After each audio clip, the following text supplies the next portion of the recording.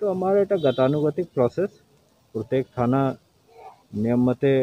আমাৰ senior officer বছৰেকীয়া এটা ইনস্পেকশ্যন কৰিব লাগে ত' মই আজি সোণাৰী থানা ইনস্পেকশ্যন কৰিবলৈ আহিছোঁ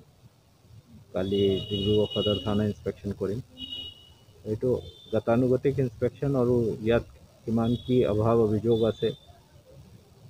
আৰু যদি এডিশ্যনেল কিবা দিব লাগে সেইখিনি কেনেকৈ কি দিব পৰা যায় সেইখিনি প্লাছ ইয়াত যিটো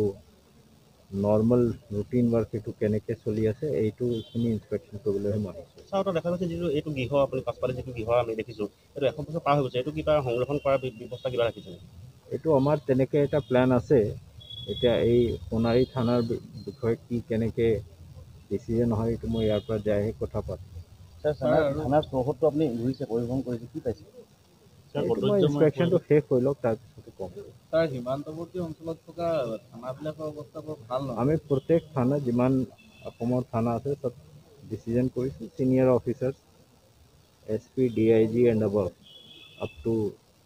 special D G প্ৰত্যেক থানা ইনস্পেকশ্যন কৰা হ'ব এই এই